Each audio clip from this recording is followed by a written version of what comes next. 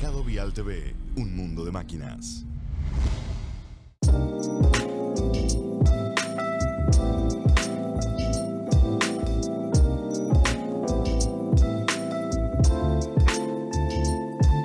Bueno, seguimos acá en Conexpo 2023 en el stand de Bobcat, obviamente con muchísimas novedades, pero hoy nos vamos a detener en lo que es la línea de equipos eléctricos que está presentando. Ya estuvimos viendo el, prototipo Rock X. Esto está más cerca de la realidad. Ya habíamos visto en Bauma el T7X, que, que es sobre orugas.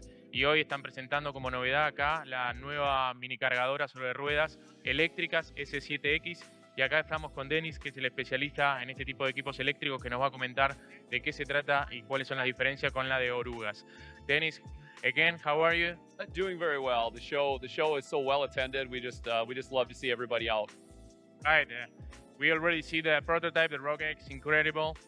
We already see the T7X in Bauma, and now you are presenting this is just a real skid steer with, with wheels. What are the difference? What are the you know the advantages regarding uh, runtime, etc. Yeah. So uh, you, you really hit it on the head. Is that that that T7X was our that was our first our first foray into into the full electric where we don't have the diesel, we don't have the hydraulic fluid. Uh, the the S7X is very similar. So it's a very similar setup, same battery, same actuation.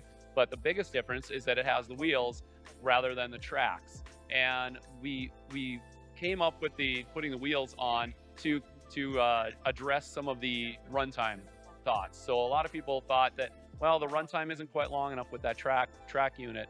Well, a way that we can address that very easily is to actually just put wheels on because turning wheels is so much easier than turning tracks. So we go from about a four to five hour runtime, continuous runtime on the T7X to about an eight to nine hour continuous runtime. Really, that, that's almost double. Yes, yes. So it, it really does make a big difference when you're not having to turn those turn those tracks.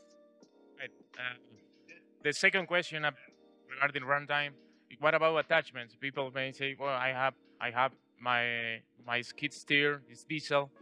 You can use those same attachments on on this machine, of course, because this is electrical. But what are the solutions that Bobcat are thinking for the future in that in that regard? Yeah. So so if you have your non-powered attachments, uh, everything will fit on here. It's it's our standard Bob-Tach. So if you have your buckets, your pallet forks, those things that don't require power, those will fit and they'll work very well on here. If you have your powered attachments, that's where we are developing the electric attachments. So uh, we have an electric. Uh, we're electrifying. Uh, we have an angle broom at the at the show here. We have an electric grapple, and we have multiple more in in uh, in that were are in the works of actually electrifying them. Uh, we have a snowblower that's a Snowboard, uh, don't- forget the snowboard. Yes, yes, absolutely. Especially in uh, in North Dakota this this winter, we've had a lot of snow, so we've had a lot of good opportunity to not only use that snowblower, but to use it in very cold conditions, because that's another another uh, thing that people really worry about. Well, you have this electric vehicle. How is it going to how is it going to operate in these very cold conditions? And and they operate fantastic. Well, we came to the back of the of the machine just to see what's in here when there was a diesel engine. Now we have these kind of things that you were going to explain.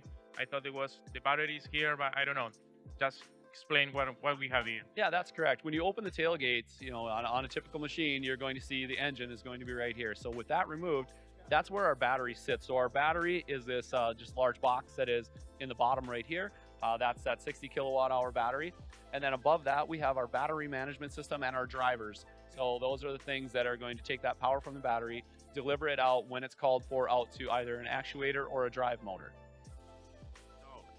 When we were in Bauma, is it that the other guy pointing you have uh, liquids here besides the ref- refrigeration water over there, right? Yes, so we have some glycol. So we have some glycol loops for some cooling loops. So that's these mm-hmm. purple purple hoses, and that's actually the only liquid in the machine is just that glycol. So just to remember again is and to finish, battery runtime in this is eight, almost eight. What about charging this? Yes, charging time is about 10 hours from having that battery as as far as you can take it down to a full charge is about 10 hours on a 240 volt circuit.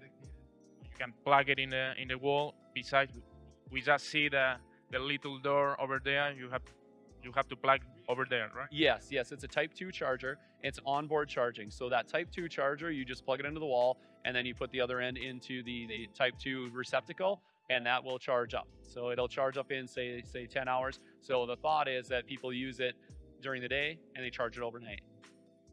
Now just to finish service. I'm again. Uh, you don't have hydraulics. You don't have leaks here. Yeah, so you don't, you're not going to have leaks, uh, but you're gonna you, you've got very good access to these things. So the drivers, the battery management system, even the battery itself, are extremely extremely easy to get to.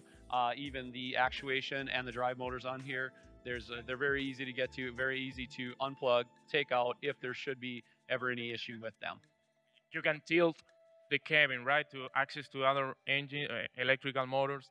Yes, so you can tilt the cab up just like on our, our current units. So you can get to the front side and the back side of this. And under that cab, there's there's really nothing. So there's uh, there's a lot of, it almost looks like it's missing parts because there's so few parts on these fully electrics as opposed to the diesel hydraulic versions. So one thing I, one thing I wanted to mention is that these machines are, they have heaters and air conditioners in them. So a lot of people kind of question is that, well, will I get air conditioning with this full electric? And yes, so this is our air conditioning system. It's just instead of run instead of running it off a pulley off an engine, you're just running it with an electric motor to compress that refrigerant. So that's our our uh, air conditioning so that you can be nice and cool in the cab. When you get into the cab, you're not going to know the difference of of from a diesel hydraulic to a, a full electric. So the creature comforts and the feel of that cab are all the same. Joystick or the other Bobcat. Uh. Correct. So these are only joystick runs. So these are just the SJC controls that we have in our in our diesel hydraulics. So the same the same control patterns, the same joysticks. Yes. Thank you for the interview and congratulations for the for the presentation of this new product. I remember I didn't ask you about availability. If this this is going to be in the markets, when were you thinking? Yeah, so the T7X is is in production right now, and that is that is being produced in production. The S7X, the wheeled version, is going to be available. That's going to be released in 2024, and the the Rogue X, we don't have we don't have. We will know. Yes, we'll see. Okay, thank you, thank you again. Absolutely, thank you.